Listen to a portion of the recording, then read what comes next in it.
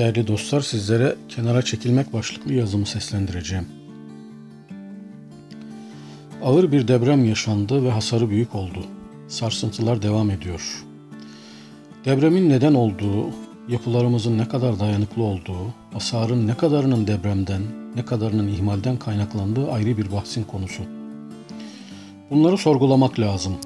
Ama birilerini suçlamak, atfı cürümde bulunmak, insanları demoralize etmek, çalışanların şevkini kırmak için değil, yeni felaketlere maruz kalmamak, geleceği daha sağlam inşa edebilmek için. Bu noktada hatası olan kişilerin de sorgulanması, cezalandırılması, en azından alandan el çektirilmesi gerektiği düşüncesi yaygın. Ama olayları, süreçleri, yöntemleri mutlaka sorgulamalıyız ki bir daha benzerlerini yaşamayalım. Biz ne yapsak bu başımıza gelecekti yaklaşımı İslam'ın kader itikadı ile ne kadar uyumlu bilmiyorum. İlahiyatçılar tartışabilirler. Ama ben ne yapsak başımıza gelecekti yaklaşımına birebir katılmıyorum. Biz ne yapsak bizi hazmedemeyecek, zarar vermek ve yok, yok etmek isteyeceklerdi. Bu doğru olabilir. Zira bütün hak dostlarının, peygamberlerin başına benzer olaylar gelmiş. Dönemlerindeki şer odakları, firavunlar, zorbalar tarafından yok edilmek, linç edilmek istenmişler. İtibarsızlaştırmanın, baskının en ağırına maruz kalmışlar. Hareket için de böyle bir süreç bekleniyordu. Ama bazı şeyleri daha sağlam yaparak, daha erken davranarak, bazı tedbirler alarak, bünyemizi daha güçlü tutarak, aynı şiddette bir depremi, aynı insafsızlıktaki saldırıyı daha az hasarla atlatabilir miydik? Zalimin kinini engelleyemesek dahi halkın nefretini ve zulme yan çıkmasını azaltabilir miydik? Yaşananlardan bağımsız bünyemizde var olan zaaflara odaklanmanın ve onları düzeltmeye çalışmanın geriye bakıp ahu vah etmekten, birilerini suçlamaktan daha gerekli ve yararlı olduğunu düşünüyorum. Depremden dolayı travma yaşayıp içe kapananlar var. Ailesi dağılmış, perişan olmuş, sağını solunu göremeyecek kadar ızdıraba, hüzne gark olmuşlar var. Bazıları yaşananları tamamen yolun kaderi görüp tevekkül ediyor. Bir yandan yaralarını sarmaya çalışırken yaşadıklarını manevi kazanç vesilesi kabul ediyorlar. Bazıları bunu hem yolun kaderi görüyor hem de muttali olduğu bazı hatalar nedeniyle eleştirilerde bulunuyor. Bağlılığını devam ettirmekle birlikte kafasını kurcalayan sorulara sahip ve bunların giderilmediğini düşünüyor. Ama gidecek daha iyi bir adres olmadığını bildiği, yapılacak şeyler olduğunu düşündüğü için sebat ediyor. Mağdurlara, mazlumlara el atmak, destek olmak, zor zamanda aynı gemide bulunduğu insanlara omuz vermek gerekir diye eleştirilerinin, çekincelerinin üzerine taş basıp bir şeyler yapmaya çalışıyor. Bir kesim de var ki bu yapıyı tekrar inşa ve imar etmenin mümkün olmadığını düşünüyor. Genellikle aklıyla hareket eden, metafizik yorumlara çok itibar etmeyen bu kesim hatalarla deprem arasında sebep-sonuç ilişkisi kuruyor. Hasarı bütünüyle ihmallere, yanlış kararlara ve strateji eksikliğine bağlıyor. Benim de içinde olduğum ve en kalabalık kitleyi oluşturan kesim ise her ne olduysa oldu.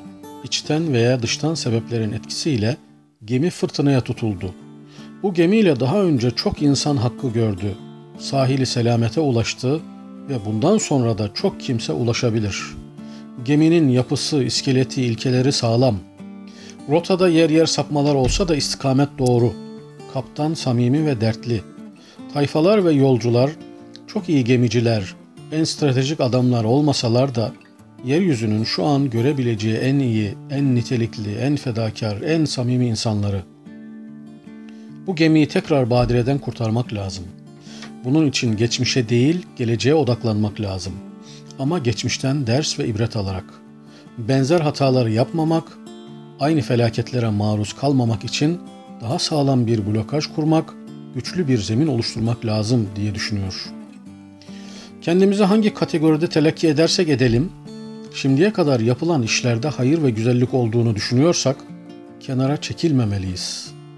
Eğer hareketin İslami ve evrensel esaslara uygun, insanlık ve İslam dünyası için yararlı, problemlere çözüm üretebilecek reçetelere sahip olduğunu düşünüyorsak, gördüğümüz bazı eksikliklere rağmen burada durup bu eksiklikleri, gedikleri gidermenin yollarını aramalıyız. Çok sıkıntılar, kafa karışıklıkları, inkısarlar yaşamış olabilirsiniz. Bazı yanlışlıklara muttali olmuş, bazı ham insanların gadirine uğramış olabilirsiniz. Zamanında yaptığınız uyarılar dikkate alınmamış olabilir. Yanlışa sebep olduğunu düşündüğünüz bazı kişiler hala etkin ve kenara çekilmeye isteksiz olabilir.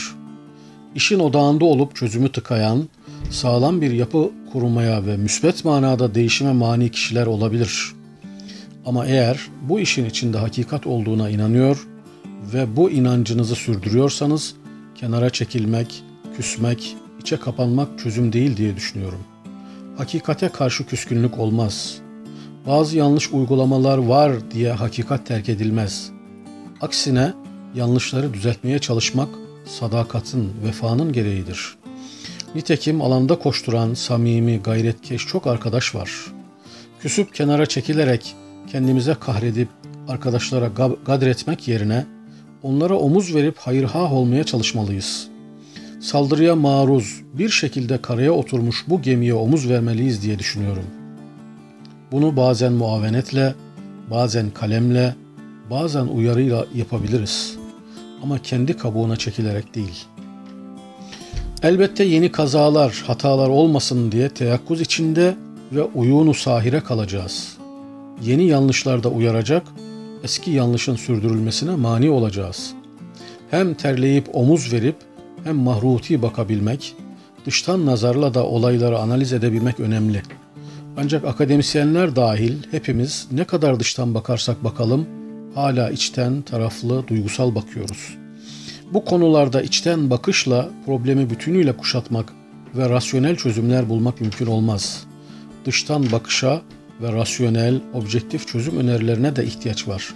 Bu ayrıca ele anılması gereken bir konu. Teşekkür ederim.